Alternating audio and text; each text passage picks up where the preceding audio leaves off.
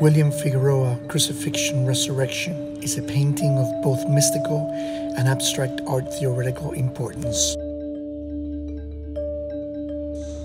The painting is so powerful and monumental that it envelops the viewer in an all encompassing state of exuberance and wonder.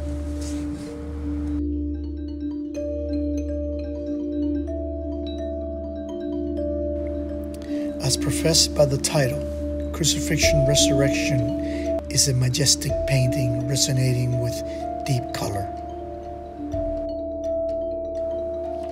The color composition is of such a chroma value that one gets a sense of a profound stillness.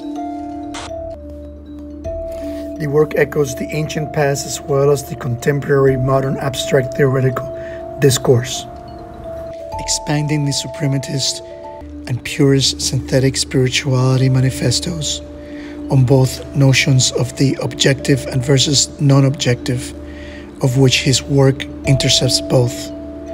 The work dismisses the difference and fills the gap, proving his lifelong view that the non objective is an objective. Therefore, polytechnic and gesture monumental accomplishments aside, Figueroa's crucifixion resurrection is simply a manifestation of the sublime in the art of painting.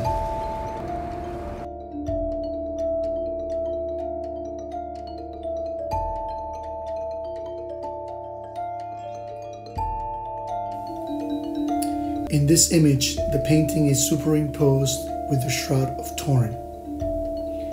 The correlating line alignments are almost identical with a slight variation due to the difference in the angles in which the head is oriented.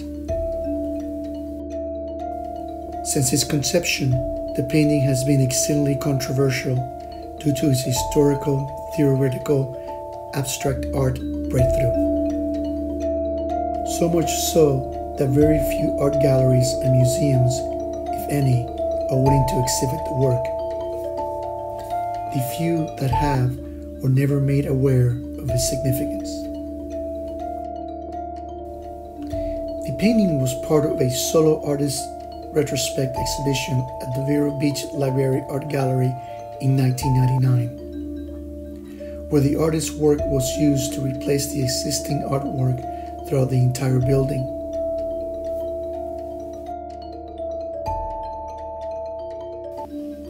In 2001, it was part of an art exhibit at the Vermont College School of Fine Arts.